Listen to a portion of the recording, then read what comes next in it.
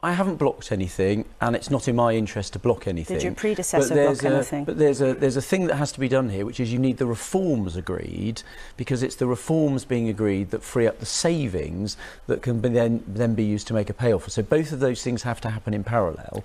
Um, look, there's been quite a lot of progress made, to be fair. The trade unions have negotiated with the train operating companies and Network Rail. Quite a lot of work has been done, and I want to try and work with both sides to try and help them get that over the line. The train operating companies and Network Rail will have the ability to reach a deal, but we have to be able to have that reform package negotiated because it's only that that throws up the savings. I do not have a bottomless pit of taxpayers' money to throw at this problem. Uh, I think we can get a deal, and I want to try and get a deal to stop these damaging strikes, which are only going to put people off using the railways and damage the long-term future of the industry. Chance and that's in no one's Christmas. interesting. Well, look, I would like there to be um, a, a resolution of the dispute and I would like the strikes to be called off. They're going to okay. hit families and they're going to hit the hospitality industry and I want to protect uh, okay. that as well. Okay.